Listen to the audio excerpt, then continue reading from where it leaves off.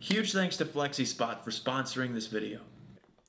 If you've ever struggled to do an integral analytically on pen and paper and you've been within like shouting distance of a professor or like a research advisor, then without a doubt you've heard them give you the suggestion of just doing it numerically to get some some intuition for the function that you're integrating.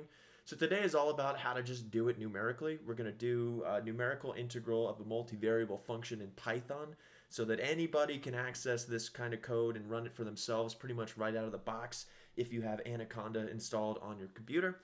Uh, so this is something that I always kind of forget how to do every now and then, especially once I'm doing numerical integrals uh, of functions where the limits themselves are functions of the variables being integrated.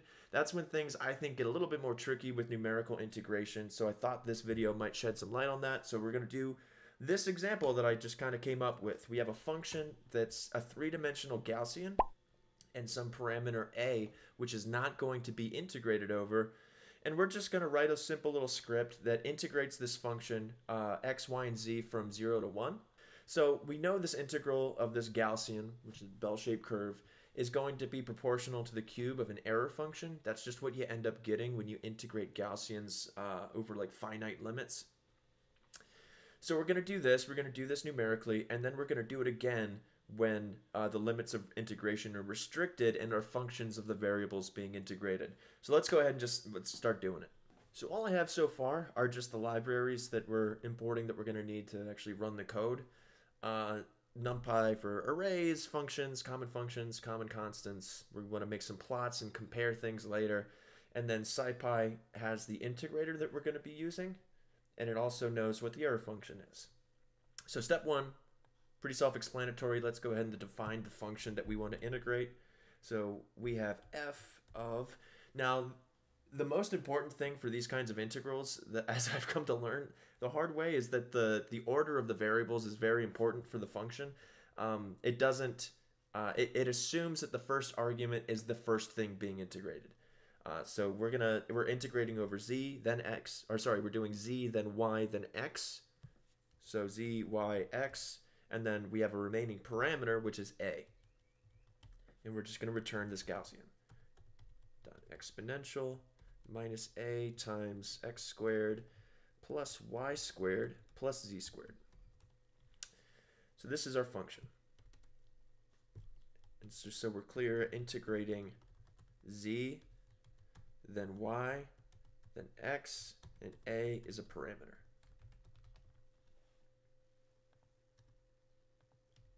Okay. Now we need to define the ranges for uh, for the variables x, y, and z. So this is the thing that's going to change quite a bit. This is where things get a little bit more complicated when we have uh, limits of integration that are functions of the variables. If we were just inter interested in constant integrals, I wouldn't make this video. I just think it gets a little confusing once you want to do that kind of stuff. And for what I do, uh, I have to do these things called Feynman parameter integrals all the time, which always have variables in the integration limits. So, and I always forget how to do these. So this will be useful for me. So, um, the ranges for the first case, they're all constants, they're all the same. Range x is just some list, 0 to 1. And the same thing goes for y and z.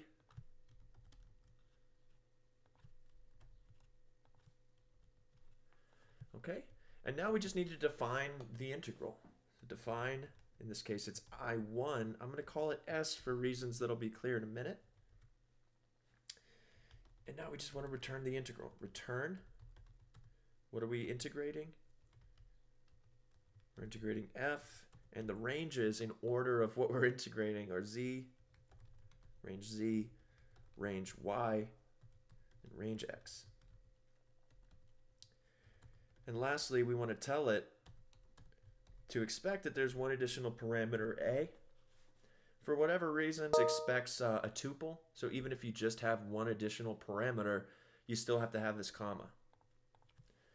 Now, why am I calling it I1s? Well, if we were to say evaluate this integral I1 for some particular value of a, let's choose a equal to 0, because that's one we can all do.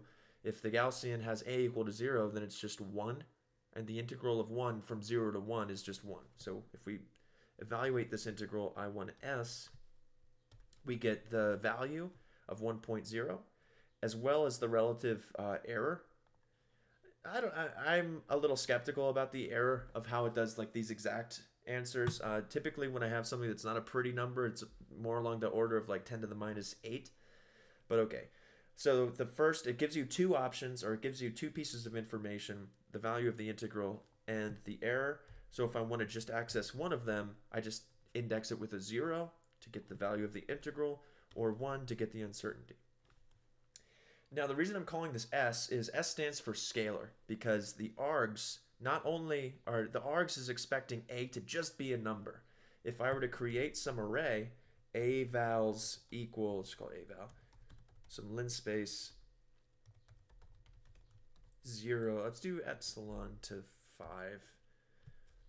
10, 10 points. And epsilon is equal to 10 to the minus 6. This is just because of how we're representing the value of the integral. There's this 1 over a here, so I don't want to...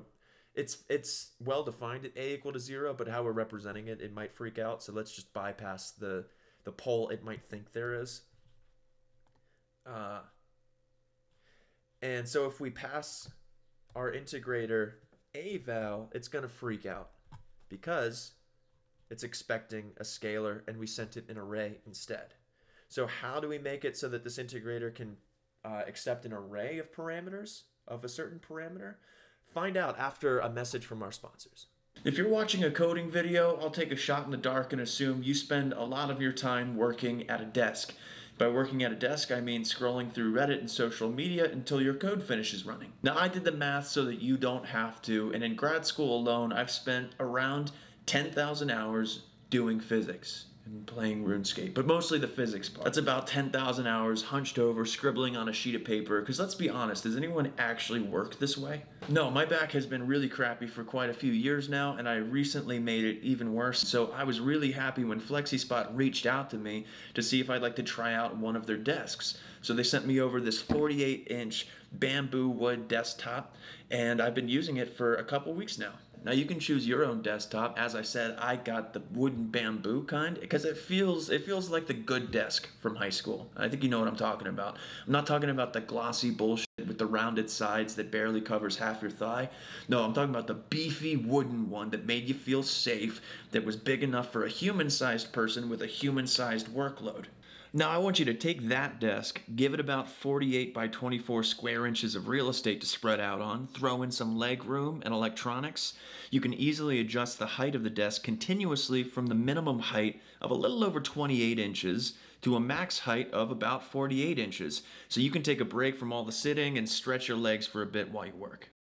Now I haven't gotten too much use out of the standing aspect of the desk yet, but because you can set the height anywhere between its minimum and its highest point, I've been using one of the four presets to set the desk to a height where my laptop screen is approximately eye level. That way I'm not angling my head down a lot because that's been putting a lot of strain on my upper back lately. So if you're thinking, wow, I really like that desk, first of all, thanks, it has pockets. The desk does have a little drawer. It's pretty wide actually. You can fit a few notebooks in there, some pens and stuff like that. It's a bit shallow though. You can't fit too much in there, but still really nice to have. Overall, I'm very happy with the desk. I think you could really call it a stand-up product. And you can get one for yourself or someone you love by clicking the link in the description. And huge thanks again to FlexiSpot for sponsoring this video. And we're back. Okay, so we've passed the integral in array like a dumb idiot. Now let's pass it an array like a smart idiot. And it's really easy to do this. We can just define the one that can take an array of a values to be numpy.vectorize uh, i1 scalar. So this can now, we can pass it an array, we can make a pretty plot. Let, before we do that, let's give it something to compare it to. We're saying this whole integral is supposed to be proportional to this cube of the error function. Let's define this, this uh, analytic result. So we'll call it the answer of A. It's got some proportionality equals pi over 4 times A to the 3 halves. And we're just going to return that proportionality times uh, of the square root of A cubed. Now we can move on to the plotting. Oh no, I got rid of my avals and stuff. So let's let epsilon is 1.0 e to the minus 6. Avals equals linspace. I forget what I had exactly, but epsilon to let's say 10 and we've got 15 points. The range doesn't matter. This is a proof of concept that we can do multidimensional integral that results in a function of a parameter that didn't get integrated and we can plot it and stuff like that. It doesn't actually matter what the range is. But let's go ahead and start doing the plotting. So we want to do, uh, let's plot the numeric result, plt.plot, avals, uh, I1 of avals. Let's do label, let's give it a name. Excuse me. Call it I1 of A numeric. Uh, line style. Make it dashed, who cares? Color equals black. We'll do the same thing for the analytic result. So that's just answer. I1 analytic litic. We'll make this one dotted, and I think we have to make it a little bit larger since they're going to overlap. Okay, uh, plt dot legend. Add some grid lines. Uh, some X labels. And let's let's see what we got. Boom. Oh wait, no, this is not going to work because uh, I1, like we said, we, it returns the value of the integral and the uncertainty. So we're just plotting the we're just plotting the value of the integral. So we have to tell it the zeroth component. So answer. Uh, we don't need to do it there. Had a typo with the square root. There we go. Okay, so we plotted our numeric result. We also plotted the alleged uh, analytic result, and we see a complete overlap. The uncertainty is on the order of like 10 to the minus 8 or something like that, so we wouldn't even really see the error bars, so I'm not making a scatter plot of those as well, but those are there as well in principle. Uh, okay, cool. So now that we know that they overlap, we should actually give this thing a title probably plt.title uh, psych. They the same number. There we go. Now we're professionals. Cool. So that's how we can do this numerical integration for constant limits where the limits are constants uh, I wouldn't have made this video if that's all that we were doing today. I think things get a little bit more tricky once we want to have variable limits, but honestly, not that much changes. It's just a little hard to keep track of, in my opinion. So the only thing that changes for I2, still integrating the same function over the same variables, same parameter. Only thing that's different are the limits of integration. So shouldn't be too surprising that this is the stuff that's going to be changing. And because some of them are functions of the variables instead of just being arrays, those arrays are going to have entries that are functions of the variables. We're not going to have to do that for x because it's got constants again. Um, we could do everything in terms of functions. That's just more function evaluations though. So at a certain point, we want these things to not be very expensive computationally. So defining the function when it doesn't need to be would be kind of dumb, I think. Okay, so the first thing, let's start with z. Let's define uh, range. Let's call it zz so it's not to be confused with the previous one it's a function of x and y. The thing that makes uh, limits that are functions of the variables variables tricky is if it's a function of one, you gotta treat it as if it's a function of everything that remains. So if we haven't integrated over z yet, then we have to treat the the limits of integration as if it's functions of x, y, and a. Okay, so we're gonna call it as a function of y, x, and a. If we forget that, you're going to start running into it's expecting this many positional arguments and only received this. That's like the most common errors that you'll see from doing these kinds of integrals. So here we're just going to return that list 0, 1 minus x minus y. Super simple once you know how to do it. now when we look at the y integral range y y, so this is like y equals 1 minus x. So at most it can depend on x and a. There's no there's no y. It's not going to be like y equals y plus whatever. Return, same list, 0, 1 minus x. And again, we could do this for, for the x integral, but it's a constant, so that's just unnecessarily making more function evaluations, I think. So range xx is just going to be a regular list. And so if we do the exact same thing now, where we'll define I2 now, where the only difference is these new limits of integration, we'll call it ZZ, YY, and XX, and we do the exact same thing where we vectorize I2 Now for free, we can pretty much just plot uh, the exact same integral, but with a different, I guess you would say, like phase space restriction. The Gaussian's positive definite, so for limiting the the limits of integration, then the the value of the integral should probably get smaller. So if we plot, oh no, what did I do? This is the same thing. Let's call it I2.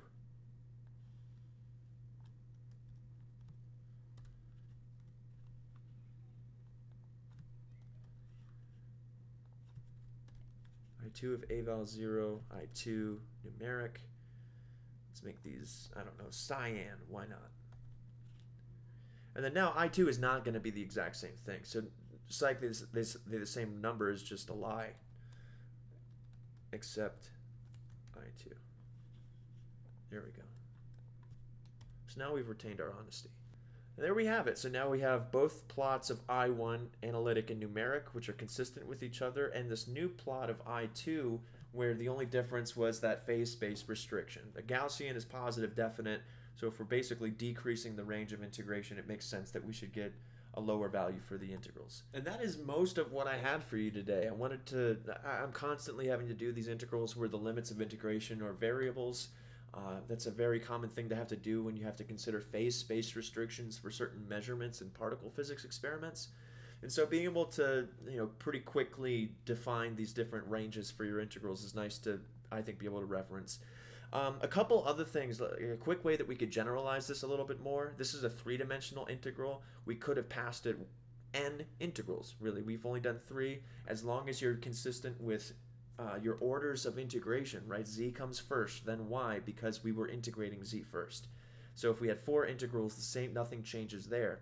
We could have also included an additional parameter like some constant value B if we wanted to. Like B is just, maybe that's the mass. It's always, maybe it's, well, let's look at it for the B equal to 1 or B equal to 5, but maybe not an array. We're just giving it a number. You can do that very easily. Just in addition to everywhere that you see A's, you also include B's.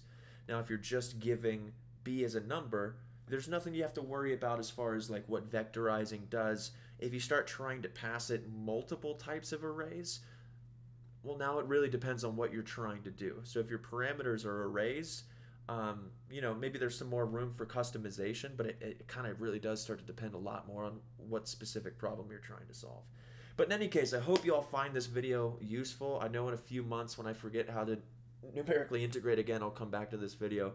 Um, I'm sure there will be suggestions in the comments of little tweaks and uh, improvements that you can make to this code to make it run a little bit more. Like if you have Maybe you can use the star and star for args to have if you don't know how many arguments you're going to have. So check the comments for people's suggestions. People always have good suggestions in the comments. Huge thanks to FlexiSpot for sponsoring this video. Check the link in the description for more information and to get one for yourself. And I'll see you next time.